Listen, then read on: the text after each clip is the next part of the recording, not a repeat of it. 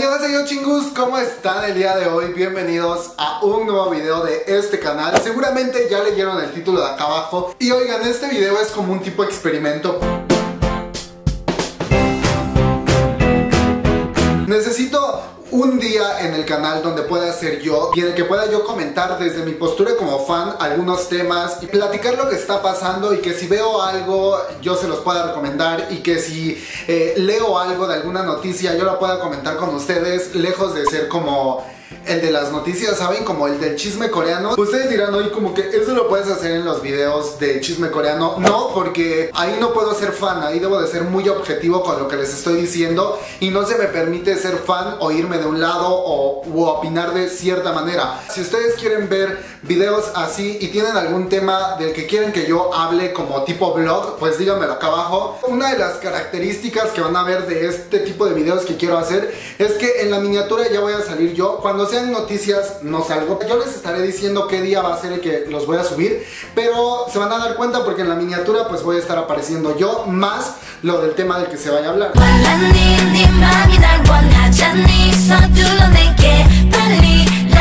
Y hoy el tema que elegí para hablar con ustedes es sobre los internautas coreanos.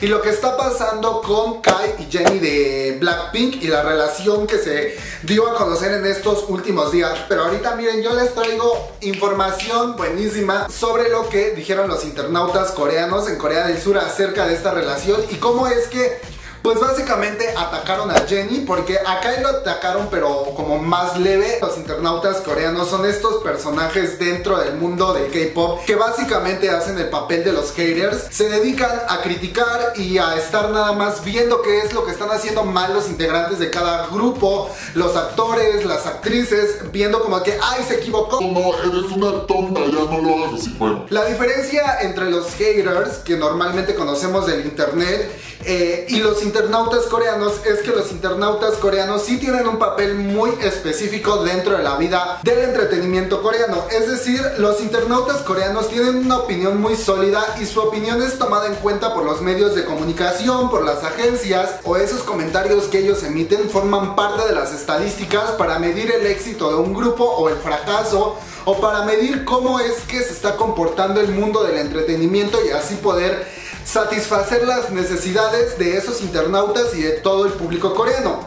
También hay otro grupo de internautas coreanos que se dedican nada más a criticar y a señalar lo que las agencias llaman comentarios maliciosos. Resulta que el día 31 de diciembre en América y ya primero de diciembre en Corea del Sur, Dispatch, que es un medio de comunicación muy importante en Corea del Sur, dio a conocer algunas imágenes sobre las supuestas citas que tenía Kai de EXO con Jenny de Blackpink. El internet que popero se volvió un caos porque todo el mundo estaba hablando de esto. Se confirmó que sí, que Kai y Jenny sí estaban teniendo una relación. De hecho, SM Entertainment dijo que pues Kai y Jenny se acercaron últimamente y como que eh, entablaron una relación más cercana dando a entender que pues sí andaban. Por su parte, YG Entertainment, que es la agencia de Blackpink y por ende es la agencia que maneja a Jenny, dijo que ellos no tenían conocimiento, pero que lo iban a checar con Jenny y hasta el momento como que no han dado una postura específica que digo, güey, o sea, si ya lo confirmó SM Entertainment, no seas la agencia culera que diga,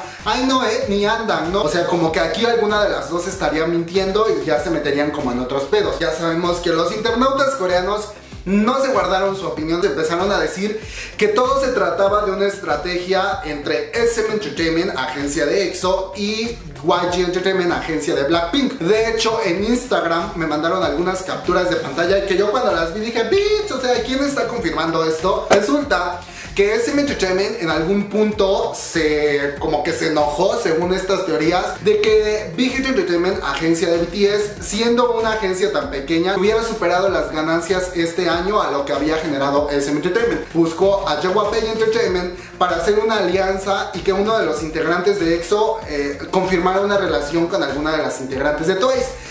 Pay Entertainment dijo No me meto en ese pedo, esa mierda a mí no me gusta. Y entonces SM Entertainment se enojó con Pay Entertainment Que hasta aquí yo lo veo ya súper falso Porque si nos vamos algunos meses atrás Yo les estaba informando que SM Entertainment, Pay Entertainment y Big Hit Entertainment formaron una alianza en la que ellos decidieron crear una plataforma y una agencia en la que pudieran vender toda la música de las tres agencias de manera global, además de comercializar otros productos de los grupos y de los artistas que ellos manejaban. Entonces, actualmente Pay, SM Entertainment y Big Entertainment tienen una alianza comercial, por lo cual yo sí veía como que, o sea, como por qué vas a atacar a tu aliado, o sea, también te perjudica. La teoría seguía que al Pay rechazarlo, SM los odió y entonces buscó a YG Entertainment y le dijo como que, oye chama, mira, ¿sabes qué? Big Entertainment nos está ganando, pero ¿qué te parece si uno de mis exos se va con uno de tus Blackpink? Como que hacemos una relación y pum, publicidad y nos vamos hasta lo más top. Según esto, esta teoría. Que les digo, todo esto es una teoría hecha por los fans, de hecho no hay nada que lo como que lo sí lo refuerce o que lo avale. En todo caso, si fuera una estrategia de publicidad, lo veía más conveniente entre hacer una colaboración entre EXO y Blackpink o entre Red Velvet y Blackpink o alguno de los grupos de YG porque siento que así se abarca a un público mayor y aparte se rompe ese estereotipo de que SM Entertainment y YG Entertainment siempre están peleando como que eso siento yo que sería más un punto a favor pero miren quién soy yo para decir que van a hacer las agencias. O sea, yo ni siquiera tengo conocimiento del mercado coreano en economía. Ahí no se quedó la Allá en Corea del Sur, los fans coreanos, híjole, se le fueron directito a Jenny de Blackpink, que fue la que recibió más comentarios negativos, que Jenny había ya firmado la sentencia de fracaso para Blackpink, porque recordemos que hace algunos meses también algunos artistas de YG revelaron que una de las condiciones para ser trainer de YG Entertainment y para ser artista de esta agencia es no tener relaciones sentimentales con nadie, es decir, no tener relaciones amorosas con ni con mismos integrantes de la agencia ni con integrantes de fuera de la agencia. Seungri de Big Bang le dio un consejo a todos los trainers que si querían andar con alguien pues que sí lo podían hacer, pero que nada más se cuidaran de que no los cacharan los medios de comunicación, porque entonces se armaba el pedo grande. Y lo primero que les dicen, y lo primero que van a hacer, y pum, que me los fotografían en París, ellos bien a gusto. Los internautas empezaron a comparar también a Blackpink con 21. Recordemos que hace mucho tiempo, cuando YG decidió que ya no los iba a promocionar, todo fue en relación a los escándalos que las integrantes empezaron a tener de relaciones con otros artistas, escándalos de droga, Jenny había metido la pata, que por culpa de ella Blackpink ya no iba a hacer nada, que ya había arruinado a las demás integrantes, o sea, un chorro de cosas. También empezaron a decir que cómo había sido posible que hubiera ignorado las palabras de Sungri si Sungri ya le había advertido, cómo es que se dejó fotografiar y que también es otra de las cosas por las cuales muchos dicen que sí se trata de una estrategia porque como que los cacharon muy fácil. Kai también recibió muchos comentarios negativos, pero menos que Jenny. O sea, a Jenny sí se le fueron con todo. Y a Kai lo único que le dijeron es como que, ay, pobre Cristalito, te aburriste de ella, la dejaste y ahora te vas con Jenny. O sea, eres un cazador de mujeres.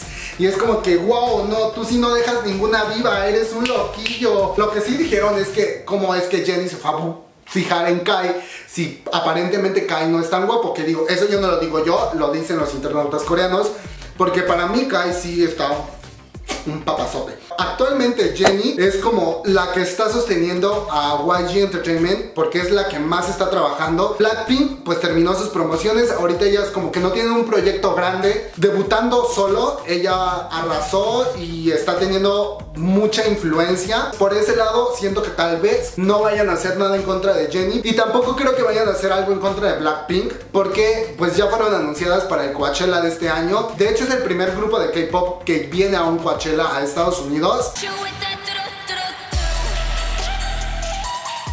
Ustedes aquí abajo en los comentarios díganme qué opinan acerca de los internautas coreanos, qué opinan acerca de esta relación. Andaba por allá en lo de la cena de Año Nuevo y llega mi hermana y me dice, oye, ¿ya viste esto? Yo, ¿qué?